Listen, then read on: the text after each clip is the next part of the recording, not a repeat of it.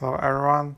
So to report inappropriate content on Spotify, uh, you need to go either to playlist, uh, most usually just to playlist, and then tap on these three dots, scroll down, and then you will have option to report abuse.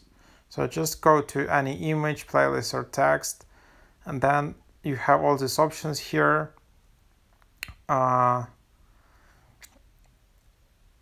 uh, and then just tap the report content and then you need to select these options uh, that you understand that complaint will be uh, forwarded uh, to the party that posted this content and you understand that abuse of this tool may result in termination of your Spotify account. You need to check these two boxes, then tap understand and then follow the instructions.